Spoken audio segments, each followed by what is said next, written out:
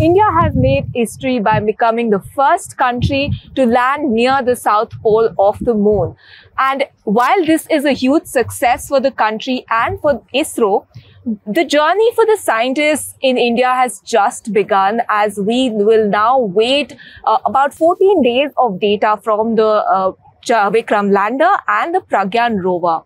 Now, interestingly, there are a lot of technologies that have made that is going to make uh, the data uh, possible from uh, the moon. And with me today, I have uh, um, uh, Mr. Aakash Sinha, who is the CEO of uh, Omnipresent Robot Tech, who incidentally has given the eyes to the Pragyan rover. And whatever data we see from the rover in the coming days, that is uh, partly thanks to uh, Mr. Aakash. And not just that, those eyes are actually helping the rover navigate the moon as we speak. So uh, thank you so much for joining us and um, congratulations. It's been a long, long wait for you.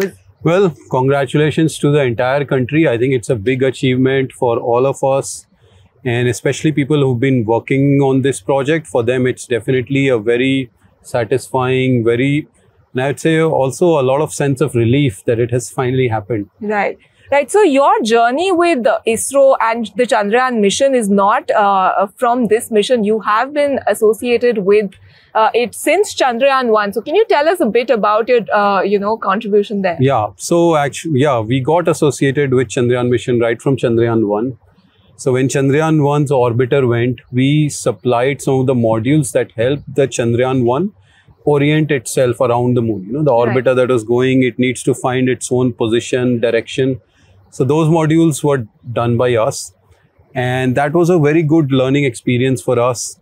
And then we kept our association and we were associated as part of Chandrayaan 2 and 3, where we developed this software for the Pragyan rover and the software has been done very smartly so that we can keep the size of the size weight and cost of the rover really small. Right.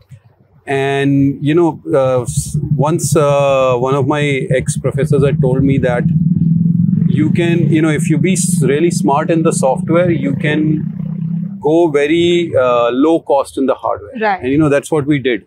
Right. And uh, but but even uh, you know before we go to that i wanted to say there's a big significance of this uh, entire Chandrayaan uh, 3 landing. Why? Because see, Chandrayaan 1 found a lot of water on moon. Huh? Right.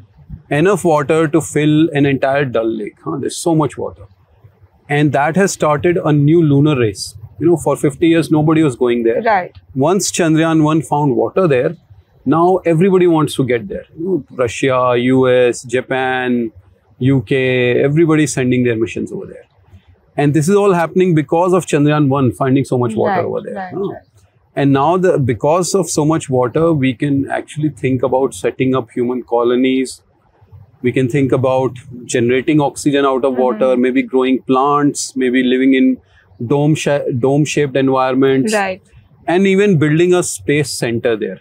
Because there, from water, we can extract hydrogen, which will become rocket fuel so we could build a space station there that could be used for future missions for Mars and other right, planets. Right. And that's why it's such a big deal what we've been able to achieve over right, there. Right.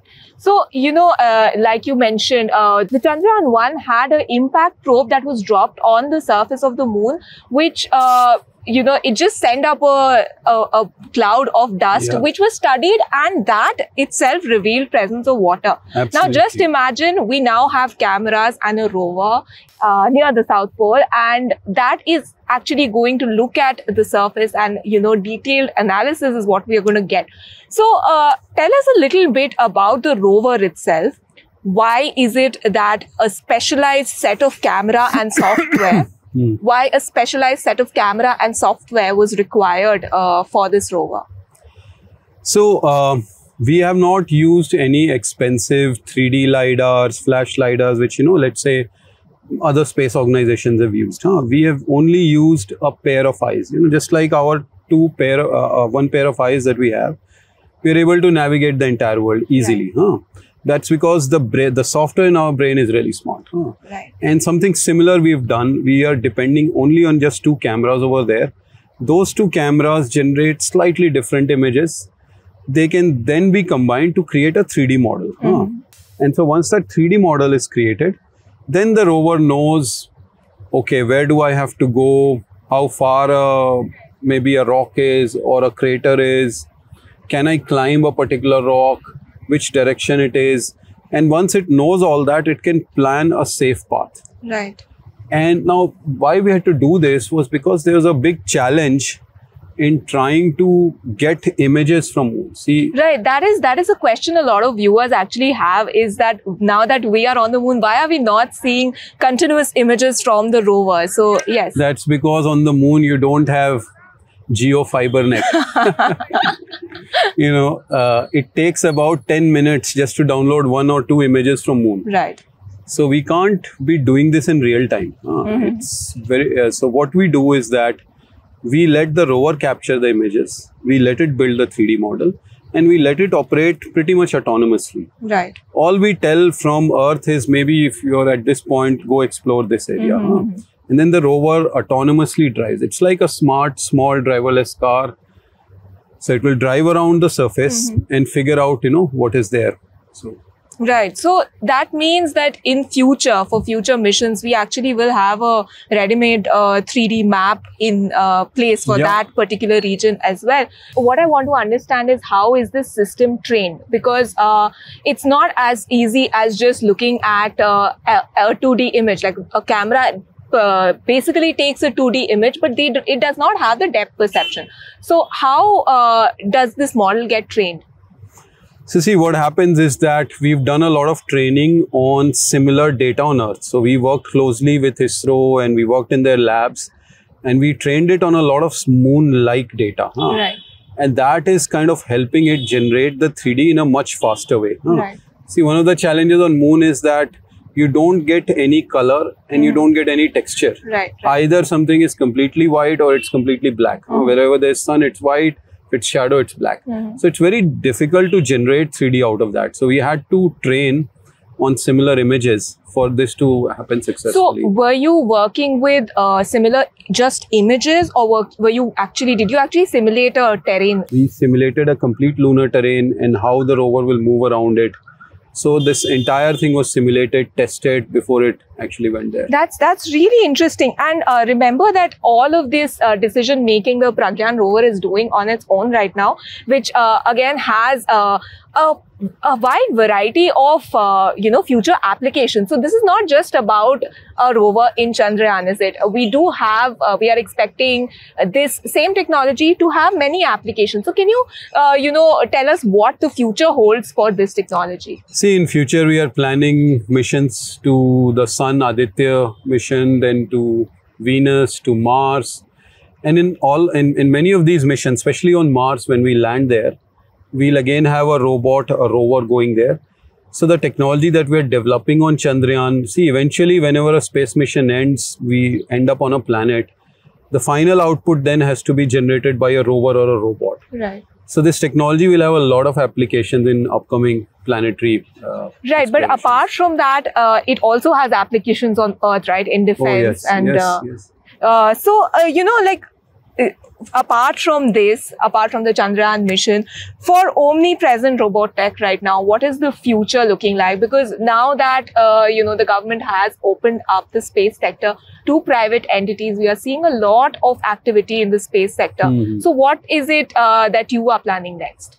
See, uh, you know, we are a robotics and drones company. So apart from space robotics, we've also been building robots and drones for here on Earth. Mm-hmm. We mapped more than 10,000 villages as part of PM Modi's Swamitva scheme across India.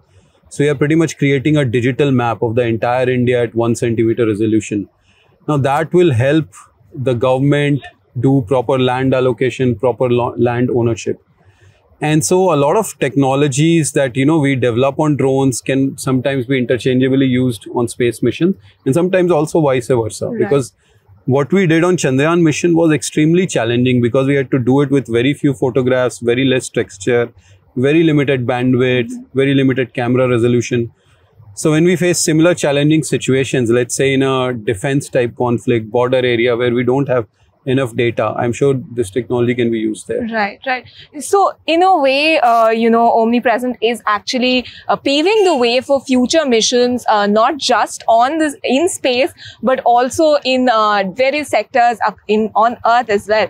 Uh, now, for all the people who have this question of what is the point of spending so much on, uh, you know, space missions, this is actually the answer. the the tech that we develop actually trickles down to touch all of our lives lives in various ways. Sometimes we don't even know about it. Thank you so much, Mr. Aakash, for joining us today. I am Mohana Basu, Assistant Editor at ThePrint.